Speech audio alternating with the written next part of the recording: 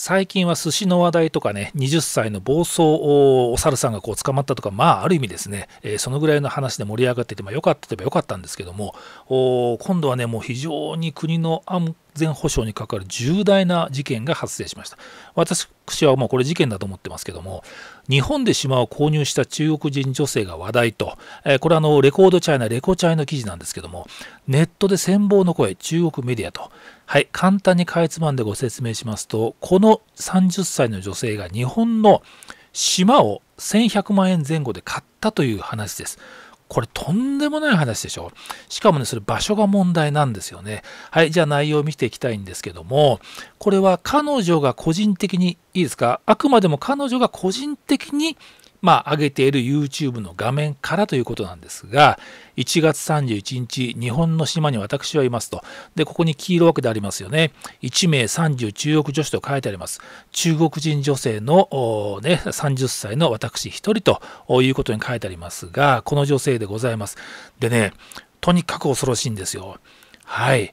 この島を私は小島を買ったんですが、永久に使える権利、使用権と書いてあります。永久にここを使えるんですよと。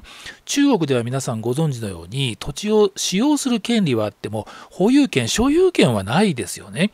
で、彼女それをね、日本は最高だよと、買ってしまったら、使用権はもちろん、ね、えー、のこと保有することができる。所有することができるのよって、わあ、皆さんいいでしょう。ということで、もうね、羨ましいと。俺も島を買おう、日本で島を買おうなんて、そんなね、ムーブメントが起きてると。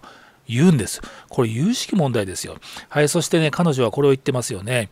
私は島を買ったんですけども、合法的に買いましたからねと。で、この YouTube 画面はね、動画は非常に短い動画なんですが、やたらとね、合法ということを謳っています。私は合法で手に入れたんだと。日本はそういう国だ。だから皆さんも合法的に日本の土地を所有することは可能ですよと言ってるわけなんです。で、この島は、まあ、こんなような形なんですけど、船着き場もちゃんと整理されています。でね、場所をいろんな情報から私もね、えー、調べていったんですけども、これ沖縄本島近くのこの島であることがほぼ間違いないないと思われます。でね、これだけ見るとわけわからないんですけども、次の写真を見たらね、驚愕ですよ。はい。沖縄本島のすぐ上なんですよ。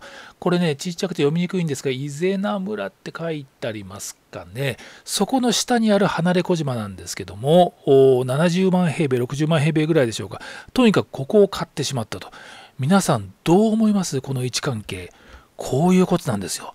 なんとあの嘉手納空軍基地まで約60キロしか直線距離ではありません。でね、これを彼女が個人で買ったと言ってますけども、まずそれ自体が怪しいと思います。そんなもんいくらでもね、共産党の手先に交わして個人で買ったんだよっていうことは可能でしょ。しかもね、彼女がこのような形で YouTube 動画に載せてからあの集められてるコメントにはね、これでこの土地はお前のもんだと。日本人を絶対近づけるなよ。なあ、追い払ってやるよと。そういうコメントが相次いでるんですよ。これ考えてみてください。彼女がですよ、もし善意だとしますよね。本当に何の政治的なものはなくて、本当にお金持ちで買ったとしましょう。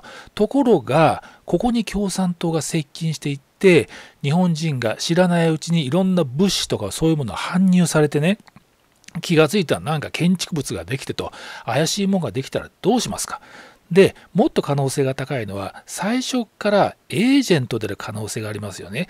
さすがに中国がねあの国として買ってくるのはまずいもんですから個人に金渡して買えばいいんでしょこんな簡単にできるじゃないですか。一体日本の政治家って何をやってるんですかもう自民党の中のもう腐りきった連中をねもう早くあぶり出さないと大変なことになります。えそれと公明党ですよね。もう親中派を、えー、もうこれはもう堂々と宣言してる連中ですよ。こんな連中が政権与党にいるもんですから高市さんたちの政策が通らずにもう中国にやられ放題に日本の土地を買われてるんです。これを見てねマスコミもなぜ報道しないんですか？異常な事態でしょ？まあ私のこの YouTube を見てくださってる方は非常にまあ少数だと思うんですけどもその少数の方にでも私はお伝えしたいです。こんな危険なことはないですよ。